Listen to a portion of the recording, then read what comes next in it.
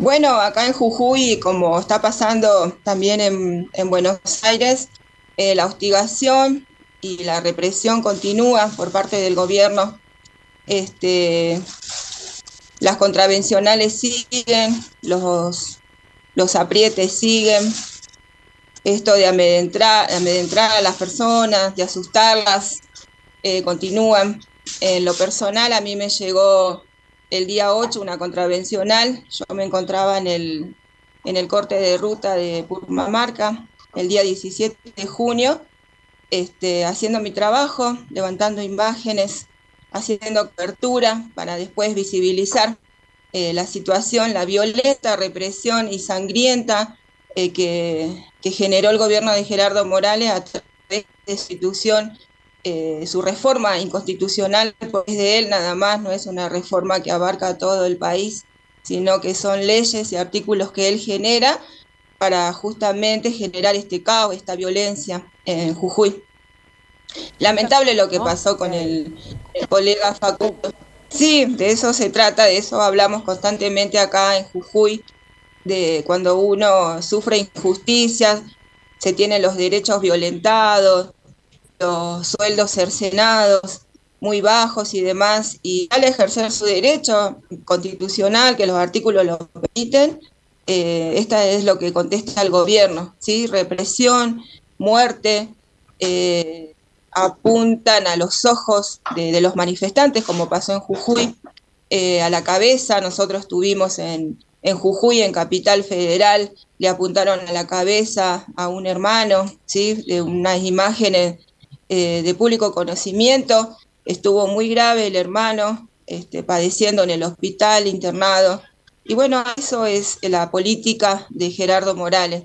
Eh, si no estás calladito, te manda, bueno, él, pretende que estemos callados, sí que estamos callados hace ocho años ya que estamos, la verdad, aguantándolo, padeciendo un montón de injusticia en Jujuy, y llegó la hora de decirle basta, basta, ya no, no queremos estar más callados, y por eso todo el pueblo salió a manifestarse a la calle, manifestaciones enormes desde el 5 de junio ahí acá en Jujuy hasta el día de ayer, ayer a la noche también se manifestó acá en Capital Federal eh, el repudio a lo que le pasó a Facundo allá en el obelisco. En los derechos, en los tratados internacionales también es incoherente lo que él propone, porque él dice yo hago una constitución para el bien del pueblo, para mejorar los derechos, los derechos de las personas, eh, pero sin embargo en la práctica no se ve, en la práctica es todo lo contrario, en todos los sentidos, en todos los sentidos, en el tema de los territorios, de, los, de las comunidades indígenas, eh, él está haciendo propaganda ahora acá internamente, a hacer su campaña política y dice que se está mintiendo y que a, las comunidades no se le va a sacar las tierras. Pero acá lo vivimos, lo vemos, sí que se sacan las tierras, sí que se avanza sobre las tierras. Ahora en estos momentos hay un despliegue policial acá muy cerca en la localidad de Lozano, donde está la policía queriendo este, sacar las tierras comunidades indígenas. Eh, el año pasado sacaron las tierras de una abuelita en Guacaleras, la abuela María.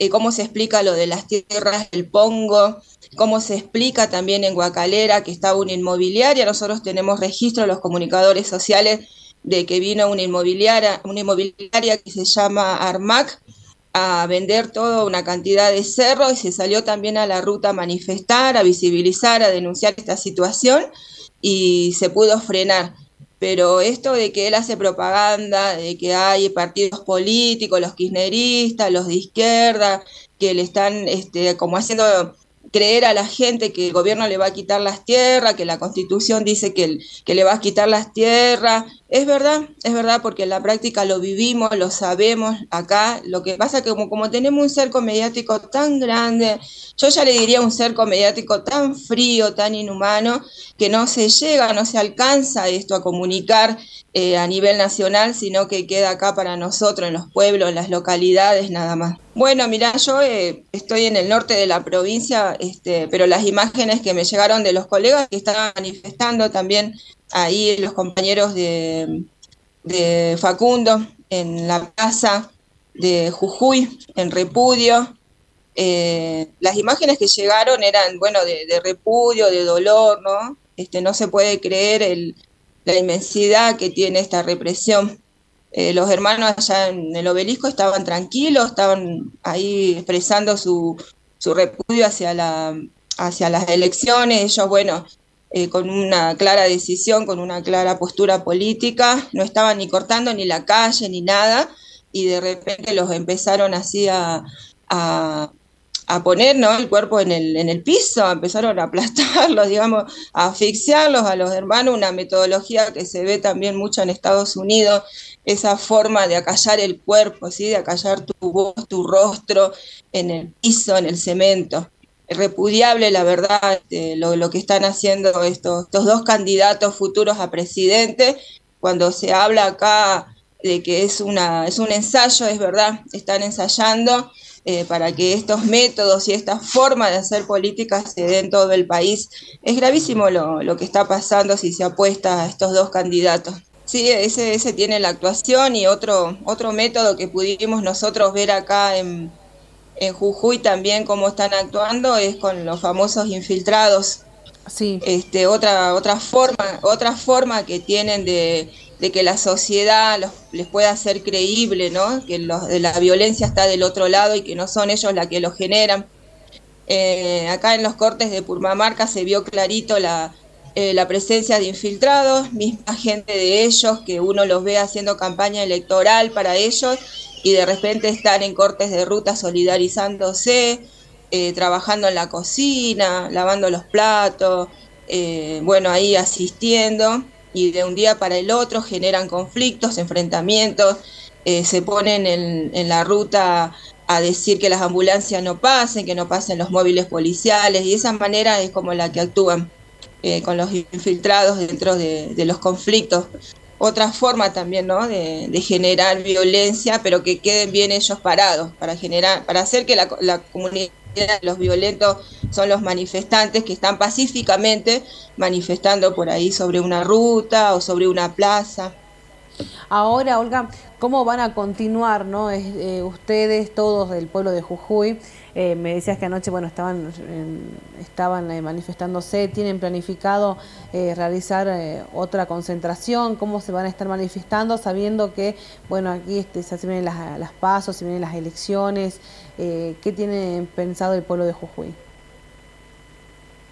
Y bueno, esto es al día a día, porque la verdad que uno te sorprende, así trabaja acá el gobierno el día a día, mañana no sabemos qué va a pasar.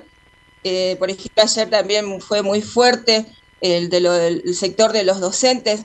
Los docentes le hizo un descuento gravísimo, casi toda la totalidad de su sueldo. Eh, le descontaron los días de paro que hay que tuvieron acá en Jujuy, que también se paró por el tema de la reforma, no a la reforma y por los bajos salarios y ayer a la mayoría de los docentes les llegó su sueldo, hay docentes que llegaron a cobrar 5 mil, 6 mil, 7 mil pesos de todo el descuento que se le hizo y bueno, es sorprendente todos los días eh, esta forma represiva porque eso también es una represión lo que hace Gerardo Morales, ¿no? Atentar contra, tu derecho laboral. Este, y día a día no sabemos con qué nos sorprender, él siempre está generando este tipo de hostigamiento, te asedia, todos los días te asedia con algo para que vos no te manifiestes, para que no salgas a reclamar por tus derechos, por los sueldos, por la reforma, por las violaciones y demás. Y esto es un constante día a día, las asambleas día a día, mañana qué hacemos, cómo vamos a seguir resistiendo. Lo que sí, sí está permanente son los hermanos de, de las comunidades indígenas debido a la veda electoral eh, se tenían que liberar las, las rutas, la 9 y la 52, y los hermanos permanecen al costado de las rutas hasta que pase esto de la veda electoral, pero la resistencia sigue, la manifestación va a seguir hasta que se cumpla el objetivo, que es que caiga la reforma. Y por parte de los docentes también se están concentrando en asambleas, este fin de semana se van a concentrar en asambleas eh, generales de sus sindicatos para ver cómo sigue esta situación, porque ya es insostenible eh, que te paguen 5 mil, 6 mil pesos en tu recibo de sueldo.